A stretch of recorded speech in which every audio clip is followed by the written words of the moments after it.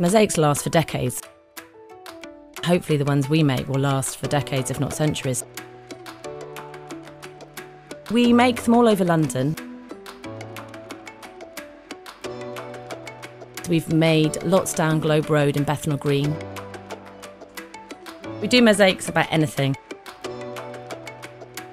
We did a beautiful one about the City of London.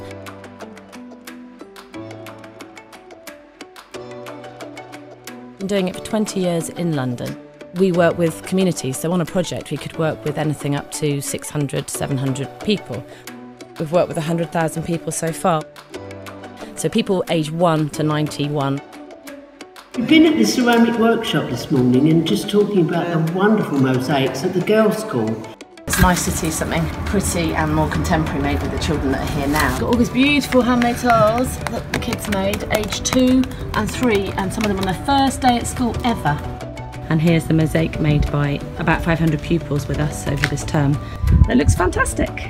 We work with the local blind school, which is called Joseph Clarke, around the corner. We work with 100 children there who are blind or got visual impairments and other complicated disabilities. How about that one? That one is a big round blue circle.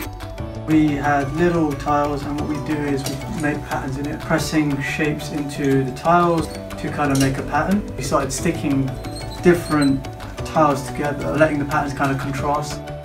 We talked to them about symmetry, we talked to them about geometric patterns, and we talked to them about experimentation.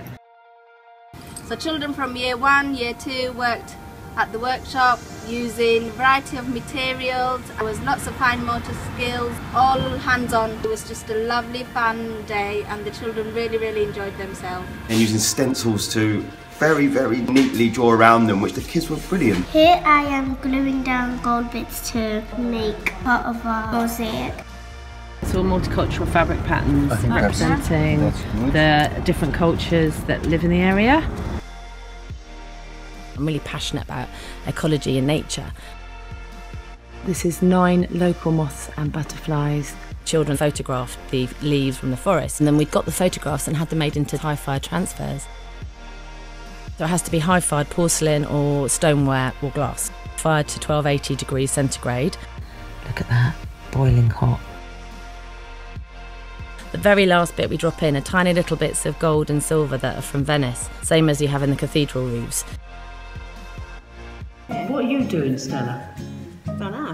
I'm, I think I'm doing Flowers something or- or flowers, yeah. yeah. All these designs are gonna be up outside our school for nearly hundreds of years. It's like a once in a lifetime opportunity. One of the things that I pride myself on is a durability because I want people who have been involved who can take ownership and say, that's my tile, that's what I made, can go back and see it in 20 years' time or 50 years' time. This is one we did 15 years ago. We'll often take the worst wall, so a wall that's used as an ashtray, it's full of cigarette butts, and we'll put the mosaic on there, a wall that everyone's forgotten about. People will stop vandalising a place if a lot of care is put into it. It involves the community. You're not just sticking something up that someone else has made, you're making something with everybody. This little girl is passing by and she happens to have worked on both the butterflies. I'm gonna give it a little wiggle like that. She thinks. You see children feeling it, people looking at the reflections in mirrors. I think it democratises art, it makes it free of charge, and it's there every day for everyone to enjoy. quite inspired by these mosaics here. They're absolutely beautiful. Everybody's stopping and revelling in the beauty that is now amongst them. It's definitely improved Walthamstow. I've seen parents pointing their buggies with their babies, looking at the mosaics. My son, he wants to say what all the birds are. He says owl, he says peacock. This certainly jogged an awful lot of memories for me and some of the work that I used to do. Like the colours and the design of it. Should be more of these in the borough, brightens the whole area up. The kids have absolutely loved every bit of it. They've learned so much. I really appreciate this amazing mosaic. It's a brilliant. I loved it so much. I think it's beautiful what you guys are doing to these walls.